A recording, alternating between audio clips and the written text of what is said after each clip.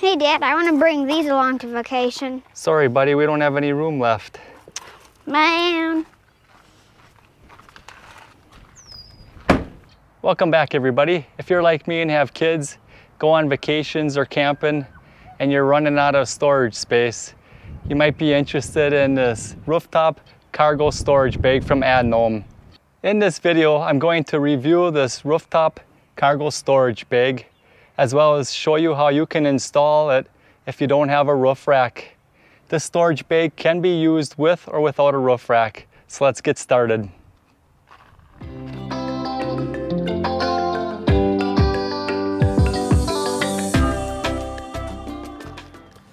In the box, they're going to supply you with an instruction manual.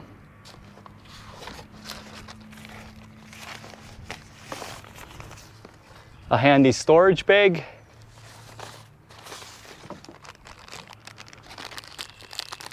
Four door straps for securing your cargo bag if you do not have the roof rack on top of your vehicle.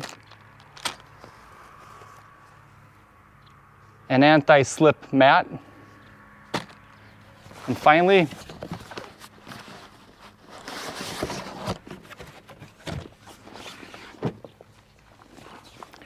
your cargo storage bag.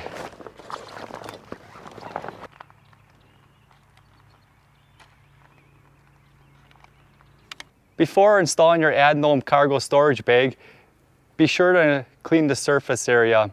If you have a taller vehicle or a pickup truck such as this, it's best to get a second person to help you install this as well. Once you have the surface area clean where you're going to be installing your cargo storage bag, take the supplied anti-slip mat and lay it on top.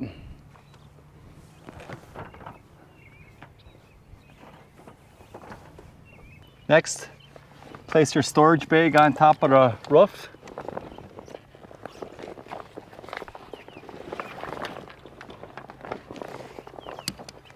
Now that you got your cargo storage bag in place and where you like it,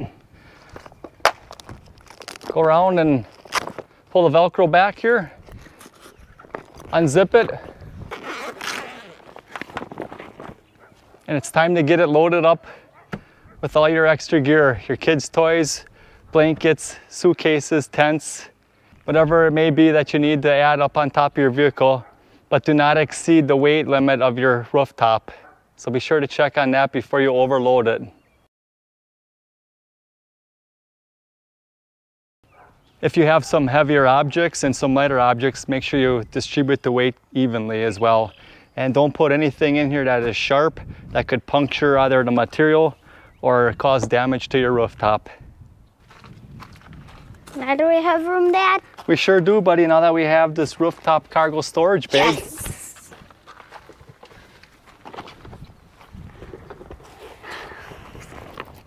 Now that you have everything inside, use the reinforced waterproof zipper and close it up. Be sure and take the Velcro straps and flip them over to the zipper, attach them to the Velcro, and that'll help keep everything 100% waterproof. Now you want to take your four supplied door straps, gently pull down on your weather stripping, slide the clip up underneath the sill of the door here, and push the weather stripping back into place. Take your buckle, slide it through the loop, and reclip your buckle. Go ahead and do that for the other three straps as well. And when you're all finished, take your strap, your loose end, and snug everything down. And then take the Velcro piece and attach it at the top so it's not flapping in the wind. Final step is to take the other straps, clip them up, and just snug them up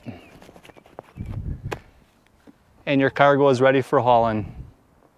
It's a good idea after a couple miles, maybe pull off to the side of the road, go around, check everything, make sure your load is still secured, check your straps, make sure that they're tight and nothing sliding around for added safety.